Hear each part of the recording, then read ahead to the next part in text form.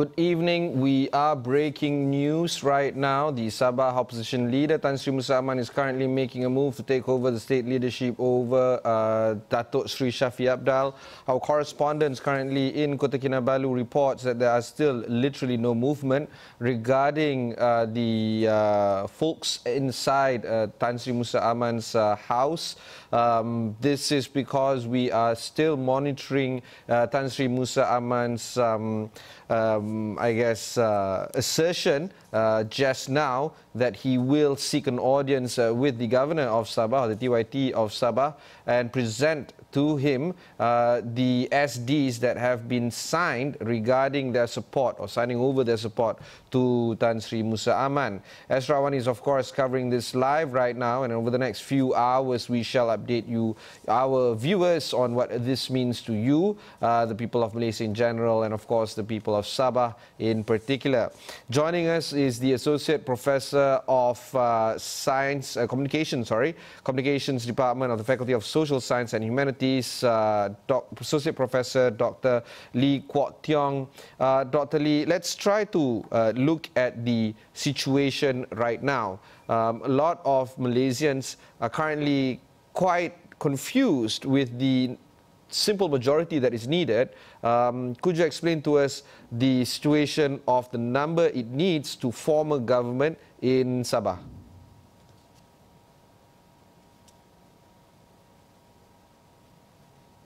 Uh, Dr. Lee, are you with us?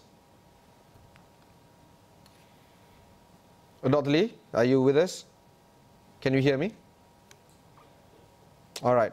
We shall continue on our uh, conversation with uh, this. Uh, we will get Dr. Lee back. Uh, back on this uh, situation right now.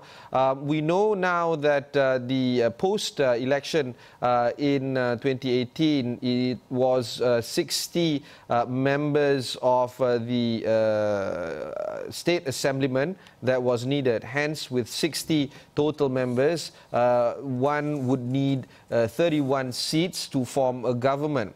The confusion right now, at least for this evening, for the rest of Malaysia, is that uh, within that 60 elected members of the State Assembly, um, Sabah has a unique situation where five uh, members can be elected into uh, the State Assembly. They are literally called the nominated members, and there's five um, nominated members. And with 60 elected, plus five uh, nominated, um, bringing a total of 65. Um, an individual would need to enjoy at least uh, 33 members to support he or she to become uh, the chief minister of the state, not 31, um, as we've seen uh, after every uh, general election. So because of this confusion, uh, people are trying to understand what would the powers of nominated members have, what would the nominated, what would uh, be the uh, powers they don't have, and what would it need uh, for uh, an individual to understand the situation better right now. So to recap the situation uh, post-election, uh, Datuk Sri Shafie Apdal did have, Datuk Sri Shafie Apdal did have a majority of 43 members prior to this evening. This number seems to evaporate uh, very quickly over the next uh, few uh, days. Uh, and of course, uh, joining us is a political analyst right now, Bridget Welsh. Bridget, um, thanks for taking the time to speak with us. Um, you have been on several channels uh, for throughout the day. We've seen you on Al Jazeera and all the other channels as well. Um, and we now want to get your views on the situation right now. What do you make of this situation right now that is happening in Sabah? Good evening, and uh, thank you very much for having me. Um, I would say that there are two fundamental things going on. Uh, one, of course, as you know, is there's been a long contestation between Musa Aman and Shafie Apdal. And I think uh, we can see when Musa Aman was uh, uh, acquitted on his, uh, his charges were dismissed, I think that the politicking began for him to take over and return back to the state leadership. And I think this uh, was an issue that has been longstanding, even right after GE, four, um, GE 14 after the election. And uh, this process has involved intensive negotiations uh, to try to pull different people over, um, and, uh, and, and, he has managed to get, uh, from what I understand, the numbers to form a new government. But I also think that the second side of this is that what's happening at the national level. I think that um, in order for you able to carry this out, you need to have national support as well. And of course, this is a period of time where um, you know loyalties are being tested and, and being reassured. Uh, and I think those things are going on and mutually reinforcing each other um, at this particular point of time. What we find interesting, Bridget, is that in the press conference that was held by Tan Sri Musa uh, earlier uh, this evening, he was citing some federal support. Um, Home Minister Dato Sri Hamzah Zainuddin was mentioned in his uh, press conference. Datuk, Nar Datuk Nardin, um, the political secretary of the Prime Minister, was also mentioned. Um, of course, we haven't gotten confirmation from these gentlemen themselves, but what is the idea and what is the intention of uh, Tan Sri Musa Hasan mentioning uh, these federal figures in his uh, notion that he has uh, support uh, to make a run for it uh, in, in the leadership of the state of Sabah?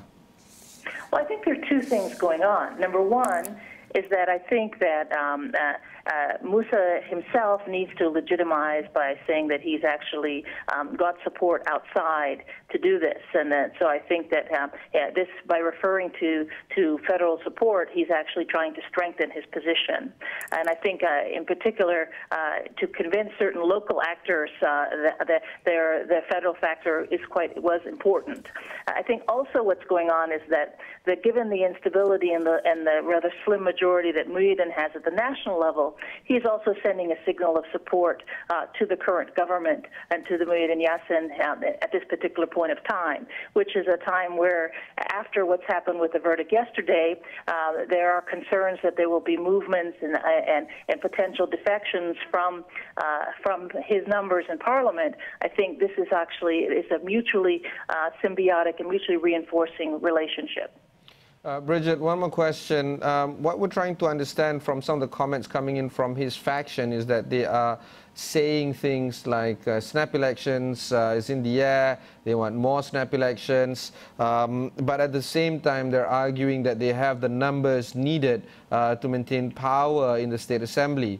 What's going on here? Do they have the numbers or do they want elections?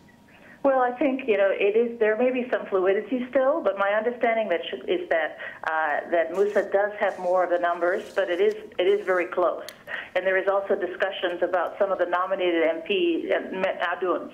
So I think, uh, but my sense is that he has the numbers. But the question becomes whether or not they can actually uh, potentially go to polls at the state level. And I think this is something not being fully cleared up yet, as I understand it. But uh, most likely, my sense is is that there will probably be a, a new government in Sabah led by Musa Aman. Uh, Bridget, one final question. The feed that we are seeing just now is literally the live feed coming in from the residence of Tan Sri Musa Aman. Um, it seems like from our correspondence uh, there, uh, my colleagues in KK, um, Musa Aman has not made the move to the palace. What's holding him back? Well, um, I think he has to assure that the TYT is the governor is going to be able to swear him in, and I think that may be an issue. I think the other thing is there is whether or not uh, he clearly has all the numbers. Uh, the numbers are, are, could remain in fluid because there's been intensive negotiation, uh, and of course there could be a sense of uh, uh, uh some resistance. this has been a process that has been intensifying over the last few days, so there may be some um, some dealing and attempt to try to pull back. Uh, and of course, we've seen in the things that the messages that have come out, conflicting numbers being reported. Thank you, Bridget. That was Bridget Welsh of the Nottingham University. Uh, we now go back to our initial um, guest, uh, Dr. Lee of uh, um, Sabah. Uh, Dr. Lee, um, uh, yeah. just to check the audio, are you with us right now? Yes, yes. Okay, Dr. Lee, I, I, the question earlier was on the numbers needed to unseat the incumbent. What is the real number needed to get that simple majority uh, that is so much or so highly sought after by the leaders in Sabah right now? The simple majority I think is only 33. 30, 33 seats, I think 33 or 34 seats is, is enough. That, that is a simple majority. Because uh, Sabah has 60 dun plus with five what they call it nominated dun adun lantikan. So total is 65. So to make it simple, majority is 33 actually. Uh, Dr. Lee, this uh, Adun Lantikan nominated member is something that yep. is not well versed by the rest of Malaysians out there. What powers uh, do they have um, as members of the State Assembly being nominated uh, into the Assembly? Okay, Sabah, actually it is under Sabah State Constitution. Is it? We have a very, what you call it, special clause uh, where uh, the government of the day can appoint five, what you call it, Adun Lantikan, okay, to form, to form the government. Okay, so normally they have a same what they call it uh, equivalent or same. It's just like the same adun lantika. Uh, uh, it's the same what they call it assemblyman. They have the same status. And for example, like the, I think the case that it's just like what they call it. Uh, Madius Tangau has been appointed as adun lantikan, and then as a minister, and then and also deputy what they call it deputy chief minister. Okay. Um, I, I, also want to ask you some of the um, names that was uh, mentioned by my uh, colleague uh, in front of the residence of Tan Sri Musa Aman. Uh, some names were mentioned, including uh, Abidin uh, Madingkir, Musbah Jamli, Ronnie Loh, Osman Jamal, Kenny Chua, um, Hamisa Bana Picho, Kong Kawang. It seems like it's not just from one party. It seems like the, the defection is coming from all sides. What do you make of this? Okay, first, okay, we have to understand that uh, during the G14 2018, okay, the they call it, the number of the seats that obtained by BN and Warisan plus PH actually is tied with tied on 29. It's same actually. So during that time, actually Star, Star, the what they call it, a kingmaker. Star decide Star two seats, so they, they, they decide to join Barisan Nasional to form the government. But less than 48 hours, there are few, what they call it, uh, uh, assemblymen from the BN cross over to join Warisan to form the new government. So what we see today are actually uh, most of the, what they call it, uh, BN assemblymen, those, those assemblymen who win, who won under the, what they call it, uh, BN ticket, they return, they go back to Barisan Nasional. They return back to Barisan Nasional joined by a few others from PKR. Okay, Kenny Chua was there, if not mistaken, and also there is uh, what they call it, appointed assemblyman uh, from DAP.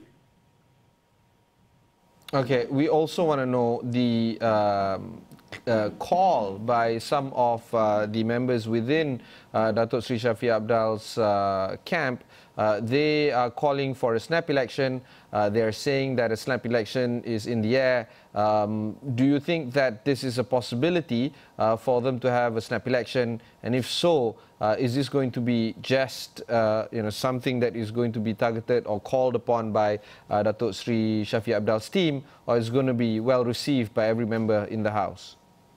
Okay, of course, there is a possibility. What you call it, snap election. Uh, first, actually, we, we don't have, we, we, we cannot don't we don't have to get too excited first.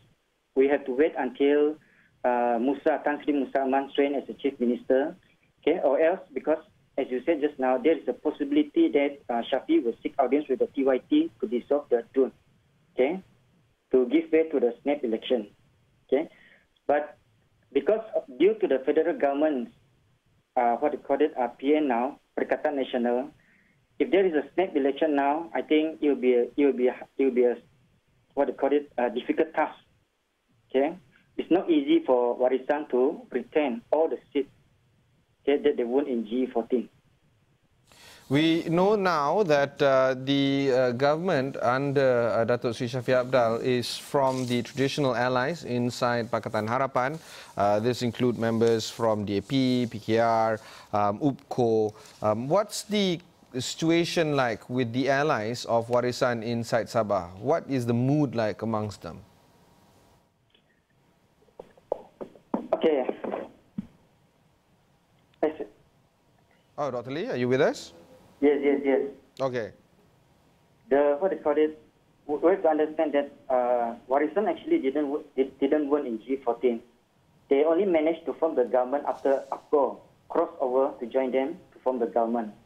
Okay, and most of them, most of those assemblymen who joined them during that time actually is because they want to be in the government of the day because they know the importance for the share of the people. They know the important important to be in the government for in order for them to help the people. Okay. So what happened after the federal government changed, after the PH, uh, PH government collapsed, after the federal government changed, after the federal government collapsed, so I think most of them, they decide to turn around, make a U-turn to go back to their previous, what they call it, the previous, uh, the previous party. Okay, Dr. Lee. Uh, the uh, another angle that we need to ask is, of course, the views of the people right now. Um, are there any um, uh, people um, coalescing uh, in the camps of uh, Tan Sri Musa Aman, people actually congregating um, inside the traditional areas of Datuk Sri Shafie Apdal, or it's actually business as usual, no one's leaving the house, everybody's maintaining social distancing right there? Okay, I think the answer is it will be a among the people, I think. Okay? It's depending on who you ask. Okay? Those who side Musa Aman definitely those who side uh, pro-BN or pro-Perikatan Nasional, definitely they'll see this opportunity. They'll be very happy to see this, this going to happen. Because the rumors, uh, the PN, uh, the government, the state, Sabah state government change, has been going for quite some time. So, and suddenly now look like it's going to happen. Okay? And for those, I think for, for Warisan and PH supporters in Sabah, definitely they, they, they will feel very upset with this, what is happening now. Okay? So, think my answer is it will be, it will be what they call it, a mixed feeling among the people. What about you? This is my final question to you. Um, how are you feeling uh, regarding this situation right now? Pardon? Sorry? What's your feeling, your own feeling, your own views on this? What's happening? Okay, I'm, I'm sure that uh, it's like something like what they call it, uncertainty, because uh, we, we didn't, actually, uh, Musa haven't Tan Musa Aman haven't, apa, haven't what they call it, trained as a new chief minister, and we don't know what's happening. Okay, uh, we don't know whether Shafie will try to seek audience with the TYT to dissolve the uh, to dissolve the DUN or not. Okay, so at the moment, I would say that it will be still uncertainty. uncertainty. Right, thank you, uh, Dr. Lee. That was uh, Dr. Lee Kwok Tiong, uh, Senior Lecturer of Communications Department at the Faculty of Social Sciences and Humanities in UMS in Kota Kinabalu. Uh, we'll go for a short break. When we come back, we'll have four more uh, political analysts. Um, uh, one of them is, of course, Dr. Arnold Puyok of Sabah. Don't go anywhere. After this, we'll have Dr. Arnold.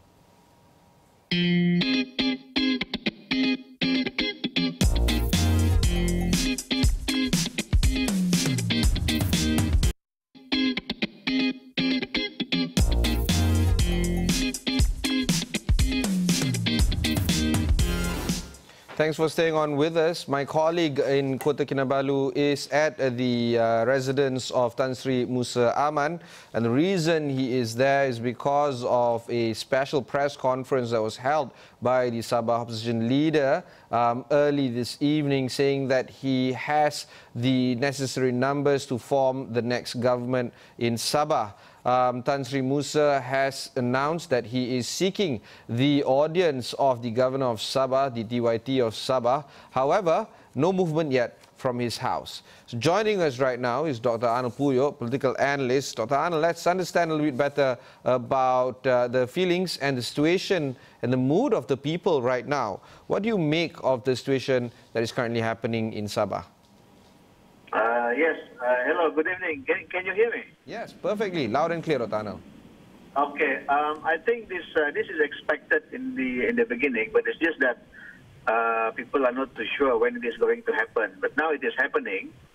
Um, I think uh, the issue now is uh, whether the TYT uh, is willing to uh, uh, accept the substitutionary declarations by Musa in this group and uh, whether or not he will eventually call for, for a snap election. So there are many uh, interpretations, you know. So we're going to uh, wait for a moment and we're going to wait to, to see whether uh, will be installed as the next chief minister or whether we are going to see a, a snap election in Sabah. Some of the uh, political leaders inside Warisan is saying that they want uh, a snap election. Darell Leiking, for instance, has said that he wants um, snap election. Um, uh, Adrian Lasimbang has said that he wants snap elections. What about the people that support um, Pakatan Harapan or support Warisan? Do they want um, snap elections in Sabah right now? Um, but, but, but when you assess the general feeling, the general sentiment, it seems like uh, um, more and more people want uh, to go for the election eventually. Uh, to go back to the people and let the people decide whom they want to lead the next uh, Sabah government. And, and what about the supporters of uh, Tan Sri Musa Aman? Do they fear a snap election?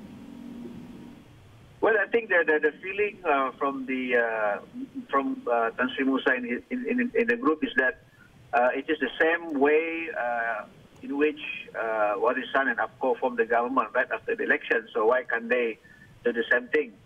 Uh, you know, uh, but that, that's the the, the the general feeling among some some people in the group. But I think overall. Overall, uh, the, the sentiment is that uh, the best way to solve this issue is uh, to go back to the people.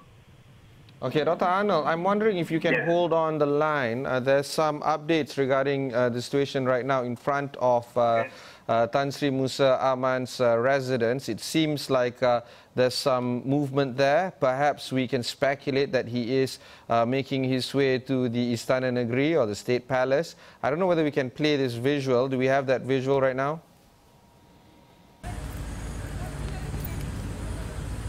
There you go. Um, and my colleague is there, Ruzaini. Uh, Ruzaini, um, do I have Ruzaini on the line? Okay, Ruzaini. Ruzaini, silakan Ruzaini. Ada pergerakan ke depan rumah uh, Tan Sri Musa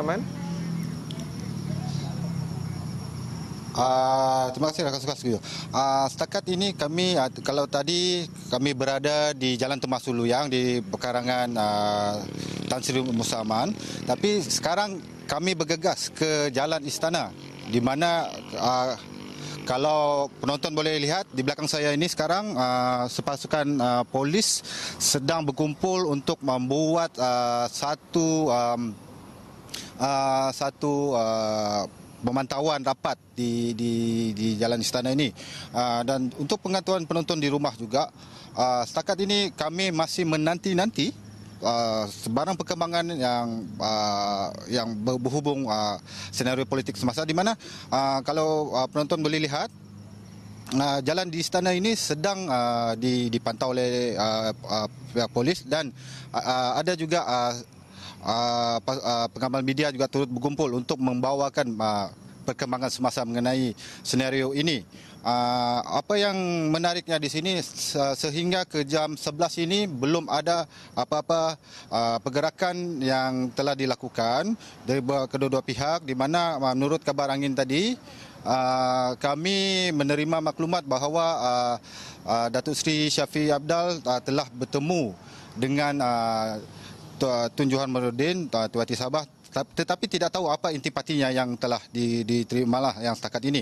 Uh, namun uh, setakat ini belum ada sebarang pergerakan. Itu saja yang boleh kami bawakan uh, mengenai perkembangan semasa yang yang uh, sekarang ini. Ya. Terima kasih Ruzaini. Uh, itu rakan sejawat saya Ruzaini Zulkifli uh, di uh, Kota Kinabalu. Uh, my colleague Ruzaini is of course uh, monitoring the situation on the ground both at the residence of Tan Sri Musa Aman as well as uh, the route uh, towards leading towards uh, the State Palace uh, where it is believed uh, that uh, the uh, governor of Sabah is there currently. Um, let's move back to Dr. Arnold Puyok. Dr. Arnold, this is the thing about the situation right now. It's still there's still plenty of rumors. You know, this fog of war that is currently happening. The latest that we have uh, right now, as you have heard yourself uh, by my colleague Ruzaini uh, in KK, is that um, there's an uh, there's a rumor that uh, Shafie Apdal has met the governor. Do you think that this sits well with the Rakyat? Regarding the situation of uncertainty um, and continued uncertainty with no end in sight. Do you think that this is something that the Rakyat is going to stomach uh, in the near term? No, I think I think I think overall uh, the people are unhappy with what they see um, just by looking at the reaction, the comments of, of many people on the social media, and just based on my interaction with many people. I think uh, more and more people are not really happy with what they see. Uh, at a time when the country needs to uh, address the issue of our economy due to COVID-19, but yet our politicians are uh, defecting from one party to another, causing instability. I think in general, uh, there seems to be like unhappiness among the among the people. The the the Yeah. the sentiment that you bring about right now uh, doesn't this um, responsibility fall on the state government of the day? Um, is the state government underperforming to a point where that sense of restlessness is currently happening right now amongst the rakyat in Sabah? Yes, I, I believe so because uh, I mean it started when uh, uh, they were not able to come up with a solid plan to address uh, the issue of economy, state's economy, and how to move forward uh, post COVID nineteen, and also when uh, when there is this issue of nomination of Shafie as prime minister, there seems to be dissatisfaction, differences of opinions among people in Warisan and uh, people in uh, Pakatan Harapan uh, group, you know. And also, uh, there seems to be like a pressure on the Warisan and PH uh, leaders in, in Sabah to uh, switch the support to Tan Sri Muhyiddin in, uh, instead of uh, Mahathir. So this kind of uh, things create um, uneasiness, create uncertainties. I think probably this is one of the reasons that triggered the defections of uh, members to, to PN. We will soon let you go, Dr. But uh, my final few questions would be on that statement that you mentioned just now, um, the talks of uh, Datuk Sri Shafie Apdal taking over the prime ministership and so on. That whole federalism conversation is still there uh, amongst the state assemblymen uh, in Sabah, which is quite interesting because um, when Tan Sri Musa Aman uh, made his uh, press conference just now, he was talking about Datuk Sri Hamzah Zainuddin, uh, Datuk Nordin, uh, the polsec of uh, the Prime Minister. Um, is he indicating um, that uh, he has uh, the federal support uh, to form a new government in Sabah? Well, that is a very inter- interesting uh, statement, and that also alludes to the to the uh, probably to the fact that uh, the federal government is is there to support Musa and his group. That is very interesting. But then again, I think uh, at the end of the day, the federal government would not want to interfere too much. Uh, and then they would, uh, well, see how the situation unfolds in the next uh, few hours. Thank you. Uh, that was Dr. Arnold Puyok, political analyst, calling in. Um, right now, we have another um, uh, viewer, I guess, another uh, political watcher, Doc Midin, who has been on the show a few times. Uh, Dr. Uh, Professor Dr. Hamidin, uh, let's uh, rewind the situation right now. Where are we at? How many numbers is needed to form uh, the new state government um, uh, in Sabah? I think for new government to be formed in Sabah, the current opposition need only 14 numbers. Uh, and seeing from the, what is happening today, uh, I think uh, they already secured 15. So they are more than uh, have enough numbers to secure and to form a new government in Sabah. Which begs the question, why haven't they literally made the move from the residence of uh, um, Tan Sri Musa to the palace to see the governor? I think even though they have a secure, and most of them secure through SD, but I think looking, at the dynamic of the current political situation, I don't think anybody can really ascertain what's going to happen until the swearing ceremonies happen in front of the TYT, whenever it's going to be. But I think it's very interesting to look at. eh, I believe now still what we call it uh, in politics, uh, horse trading is still on, negotiation is still on, uh, both sides, in the both sides. I think for Musa Aman Camp, they want to get as many number as they can, and for Shafie also, they want to hold the fort. So I think even though Musa in his PC claimed that he, he already secured 50 numbers, but I think Shafie and his team still try to maintain the status quo And I think negotiations are still taking place in Sabah as we speak. Dr. This is a sense of deja vu. I can't help myself but to express the fact that I've seen and heard and felt and experienced this before. What is the feeling of Malaysians in general, not just Sabahans, uh, regarding this uh, episode? I think generally you are right. For us, I think the issues of changing of the government, uh, long part, we call it uh, fogging, uh, for example, in terms of from one party to another. I think to some extent people are getting fatigued of what's happening, politically speaking, since for the past 22 months, since 2018, in my point of view. So we need some stability. And even in my point of view, if Musa Aman managed to form a new government by tomorrow, maybe, still, the instability is still there. So I think there is, we need now, and we, I, in my point of view, the civil society, the people must really uh, show and express our unhappiness towards the political uh, uh, player in Malaysia that they have to be measured enough to respect the spirit of democracy in their practice. Okay. Well, does that mean that we should ask for a snap election ourselves? I think the best way, I think, is that. But uh, I was, uh, some of the information that I have, I, I think it's not very much in favor of that, especially uh, for the TYT, uh, to, to call for the snap election. I think some members of the Warisan already called for, for, for that. And I do expect, uh, because of the current political situation, I don't think uh, TYT will call for the snap election. I think he will, uh, if he's satisfied, uh, as any other, as a, put it in the constitution, that new leaders emerge in the uh, Dewan Undangan Negeri Sabah, so he will appoint a new CM. Okay. Final question, Dr. Midin. The issue right now is, of course, uh, um, the quick end to this episode. Uh, do you think that we can expect uh, the current government to stay in power, or will we see a new uh, state government in power very soon? I think I, I do expect a new government will be formed very soon. All right, thank you. That was uh, Professor Dr. Hamidin Hamid, of course, a political analyst that has been on this show for a few times. Um, we will end this particular episode, but my colleagues will continue on with the live coverage. Continue to stay with us, your number one breaking news channel, Astro AWANI. For now, I'm signing off, and perhaps uh, I shall be monitoring this on social media, so follow me there as well. Uh, we'll take a quick break before my colleagues takes over uh, with the live coverage on the ongoings of Sabah.